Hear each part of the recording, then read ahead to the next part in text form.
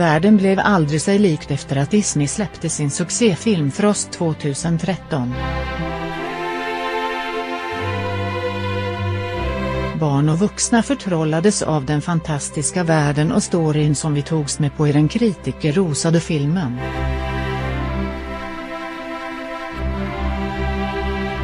Med starka karaktärer som Elsa, Olof och Anna så fick många små barn nya idoler och bara några dagar efter premiären av filmen så stod det klart, det var inget mindre än en succé.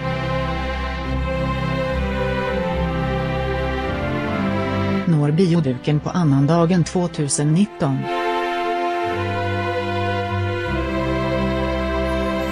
Var du en av dem som verkligen diggade filmen? Då har vi riktigt roliga nyheter. Det är nämligen så att Frost kommer att få en uppföljare som beräknas nå bioduken under annandagen 2019.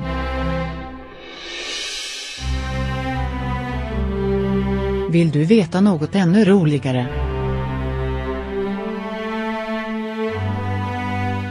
Jo, redan nu så har den första trailern till den efterlängtade uppföljaren släppts, och vad det verkar så bjuds vi ett riktigt äventyr även denna gång.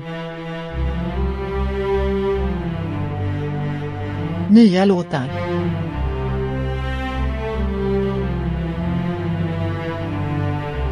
Något som gjorde den första filmen så bra var ju såklart alla de fantastiska låtarna vi fick höra.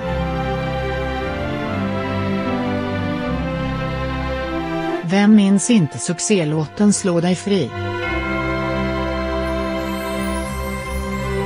Ja, vi tittar på alla ni föräldrar där ute.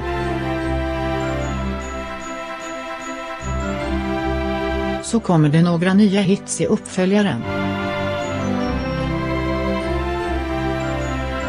Regissören Jennifer Lee tror i alla fall väldigt mycket på att det lutar åt det hållet. Det är en sång utan dess like.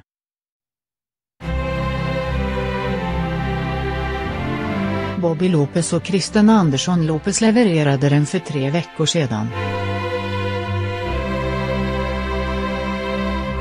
Vi har arbetat med dem i två år och den här låten levererades nyss, och jag älskar den verkligen, sade Lee i en intervju med Variety i november förra året.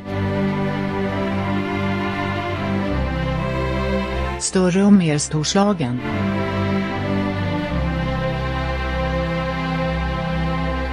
Det är ju väldigt svårt att toppa den succén som den första filmen faktiskt var. Men Lee har verkligen en tro att den mycket väl kan göra det. Den kommer naturligtvis att fokusera på Elsa och Anna, men den här gången så kommer filmen att vara ännu större och mer storslagen än den förra, skriver Variety.